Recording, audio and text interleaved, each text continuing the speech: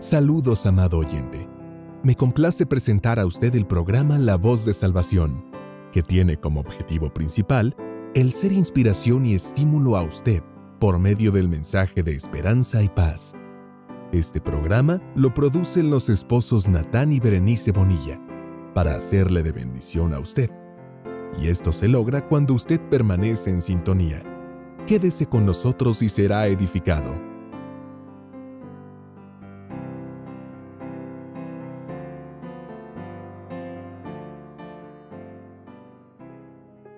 Nosotros tenemos algo hermoso que hemos recibido de parte de Dios y es necesario que sintamos la urgencia de compartirlo con todos. Por la gracia de Dios hemos recibido el Evangelio completo de las buenas nuevas, pero no solamente esto, también el mensaje del deseo de Dios de reunir a todos los hijos de Dios a un solo redil.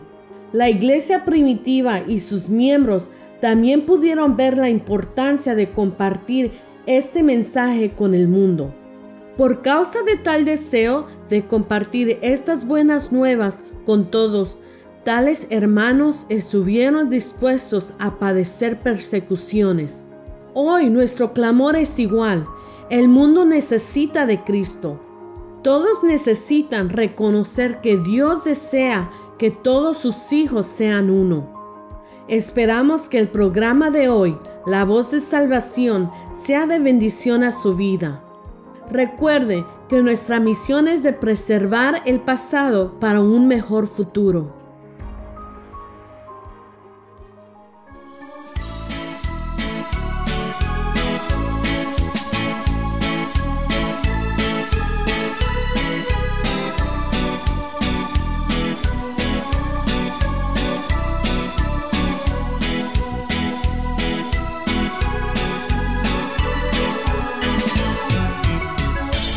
Señor yo le quiero servir, porque sé que Él me puede salvar, pues promete llevarme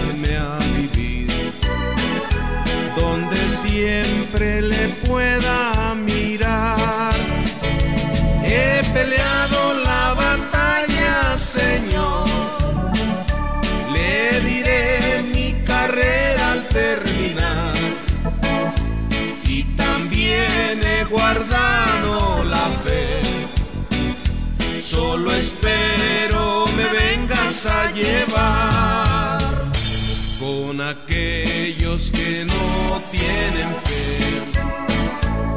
En el mundo tendré que luchar, pues yo siendo nacido de Dios su amor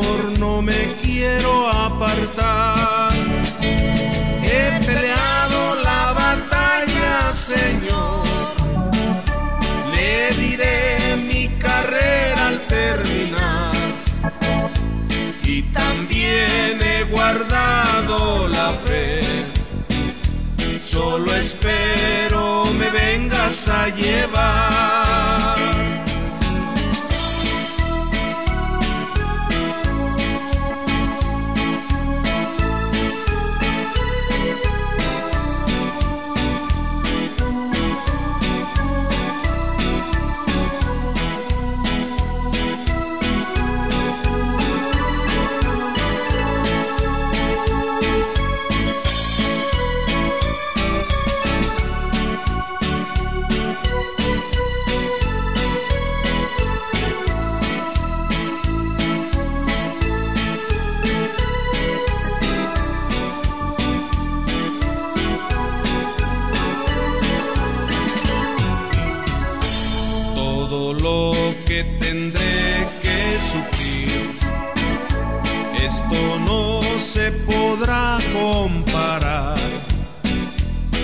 la gloria que Cristo al venir a su pueblo le tendrá que dar.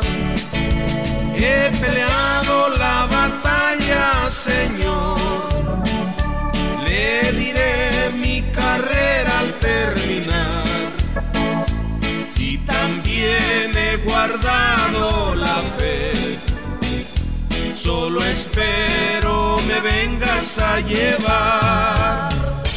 La corona de justicia ya está preparada al que luche hasta el fin. El Señor justo pues le dará en el día que tendrá que venir. He peleado Señor. Le diré mi carrera al terminar. Y también he guardado la fe. Solo espero me vengas a llevar. He peleado la batalla, Señor. Le diré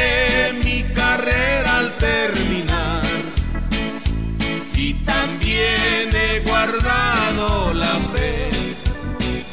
Solo espero me vengas a llevar.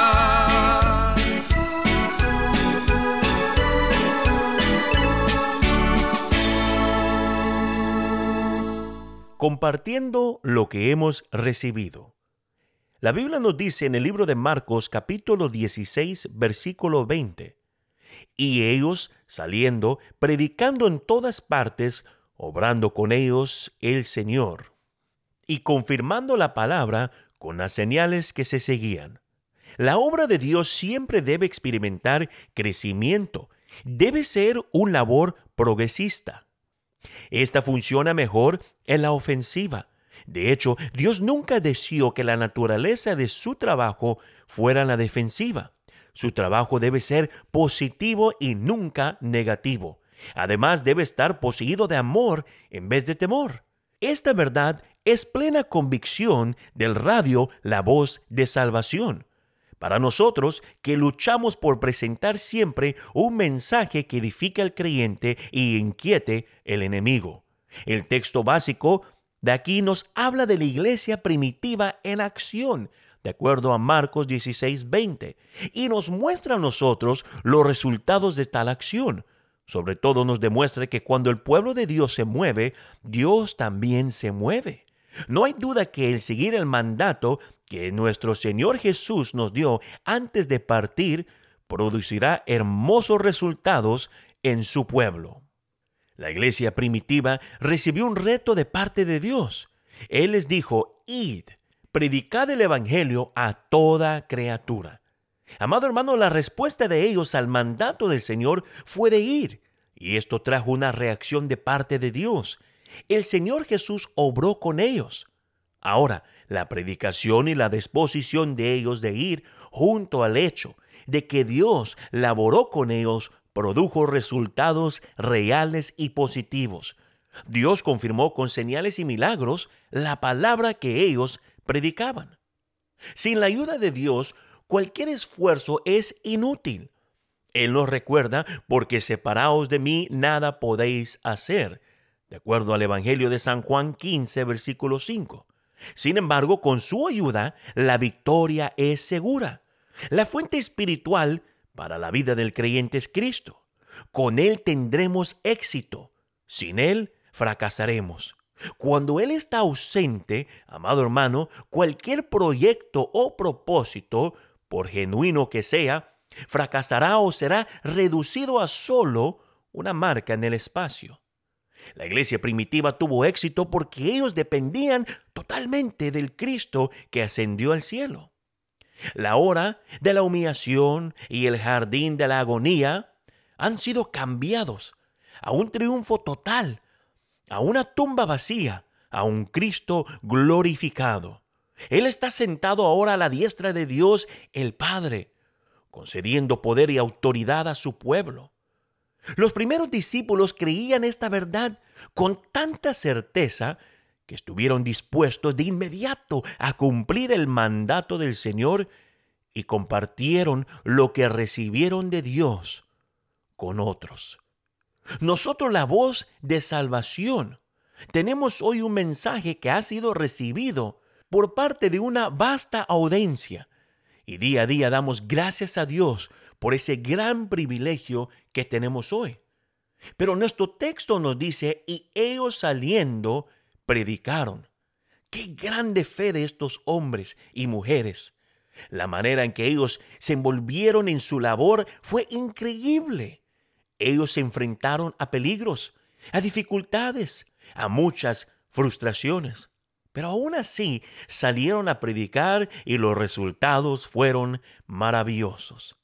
Casi de inmediato todo Jerusalén fue llena con su doctrina. Ahora, la palabra registra en el libro de los Hechos capítulo 6, versículo 7 lo siguiente. Y crecía la palabra del Señor y el número de los discípulos se multiplicaba mucho en Jerusalén, también una gran multitud de los sacerdotes. Oiga esto, obedecían a la fe. Notemos que el alcance del mensaje de ellos no tenía fronteras.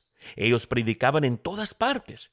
El mensaje que transmitimos hoy nosotros a través de las redes sociales también no tiene fronteras.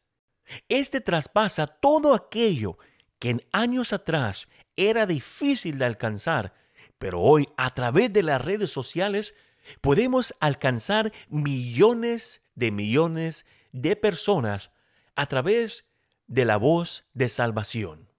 Y por esto decimos nosotros, gloria sea a Dios.